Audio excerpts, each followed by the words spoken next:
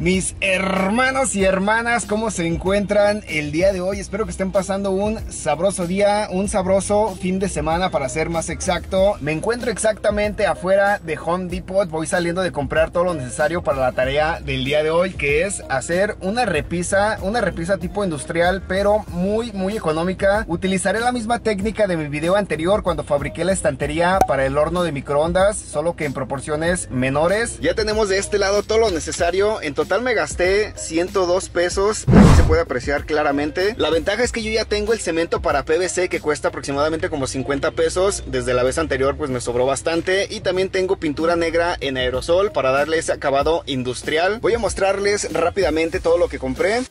Tenemos dos pares de brida redonda para tubo de una pulgada. Estos me costaron 19 pesos el parecito. Cuatro codos lisos de 90 grados para tubo de media pulgada. Estos me costaron 4 pesos cada uno. Cuatro reductores de 3 cuartos a media pulgada. Estos salieron en 5 pesos cada uno. Y por último, dos tramos de tubo PVC de media pulgada por un metro de largo. Estos tienen un precio de 15 pesos cada tubo. Y eso es todo lo que compré aquí en este lugar. Así que pues nada, vámonos para el depa de una vez para empezar con esta bella tarea.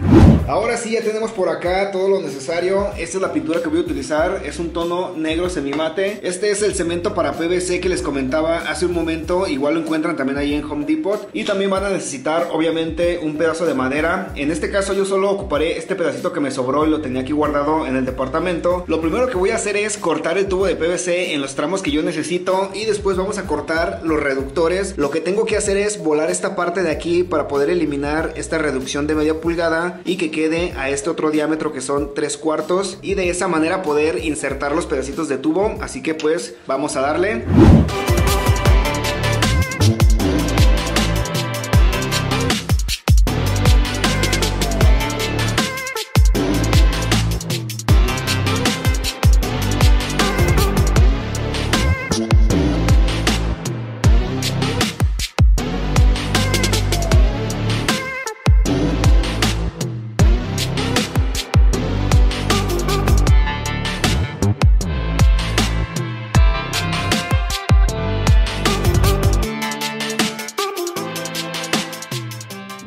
Ya tenemos aquí los tramos que vamos a ocupar para esta estantería. Este tramo que está allá fue lo que me sobró y ese otro pedacito. Pueden apreciar que de este lado tenemos unas marcas de color azul y también en este otro extremo. Eso es muy importante ya que de esa marca a esta otra mide exactamente igual todos los tubos. Pero en las orillas pueden apreciar que están un poco disparejos. Eso no importa ya que de aquí hacia acá va a estar escondido dentro de estas piezas que tenemos acá. Lo que sí es muy importante es que de esta marca a esta otra marca midan exactamente igual. En mi caso son 20 centímetros de aquí a acá, todos perfectamente marcados y todos deben de medir lo mismo, si no su estantería les va a quedar muy muy chueca. De este lado tenemos los sobrantes de los reductores, lo que cortamos. También pudieron ver en el video que le lijamos un poco toda la orilla, haciéndole como pues una especie de chaflán. Eso es porque el reductor lo vamos a tener que meter en la brida de una pulgada. De hecho, el reductor por la parte de aquí afuera mide una pulgada, pero como mide exactamente igual que el interior de la brida, pues queda muy muy apretado. Tuve que darle unos pequeños cortes con la ayuda del mototool y un disco de corte. En el video anterior lo que hice fue desbastarle toda esta parte interna con la ayuda del mototool y una piedrita para desbaste, pero eso es muy tardado. Basta con hacerle estos pequeños cortes para poderlo insertar sin ningún problema. Aquí ya tenemos tres de los reductores colocados en las bridas. Aproveché para ponerle un poco de cemento para PVC para que quede bien bien fijo. Para poder unir estas dos piezas utilicé un pedazo de madera. Después vamos a colocar el reductor por la parte de arriba. Es muy importante importante el chaflán en esta parte para poderlo introducir sin ningún problema o para que nos cueste pues menos trabajo.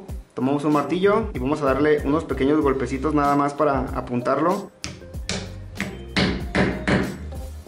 De esta manera ya logramos insertarlo, ahora vamos a agregar el cemento para PVC. De hecho la parte que tiene atrás el reductor, este como escaloncito, nos sirve de tope para que no se nos vaya a venir abajo toda nuestra estantería, ya que normalmente para hacer este tipo de estanterías industriales se utiliza tubería de fierro y esa tubería pues tiene rosca. Es muy importante también que si van a utilizar este tipo de pegamento lo apliquen lo más rápido que puedan porque se seca en chinga. Vamos a regarlo un poquito, ahí así, y después lo insertamos que llegue al tope y nos va a quedar de esta manera. Recuerden que al final lo vamos a pintar de negro, o sea que si se les llega a manchar poquito, pues no hay ningún problema. Una vez que ya tengamos nuestra tubería marcada, las bridas unidas con los reductores, ya podemos pasar a armar todo esto.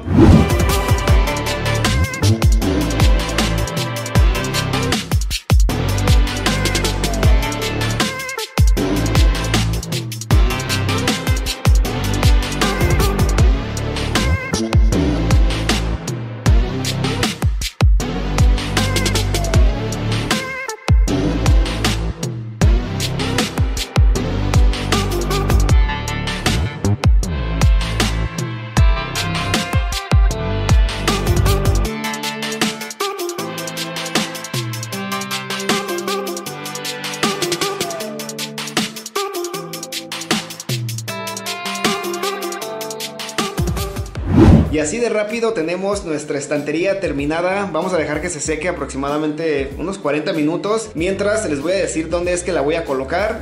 Vamos a instalarla en mi cuarto, así como lo están escuchando. Pero va a estar de cierta forma abrazando esta otra repisa. Por cierto, vean cómo van los teléfonos. Ya se ven bastante frondosos. Este ya se está extendiendo hasta aquí abajo. También pusimos esos dos cuadros ahí de ese lado. Y pues ahora sí, vámonos con lo divertido. Vamos a hacer la instalación.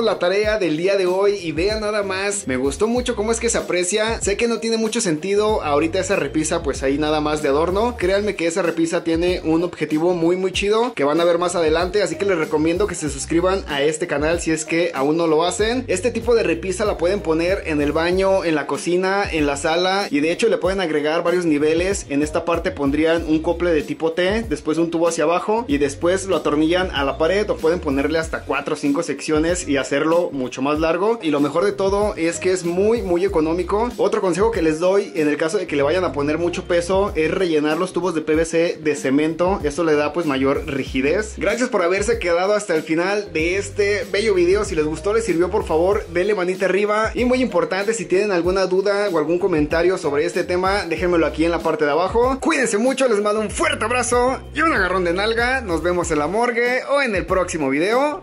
Bye. Yeah.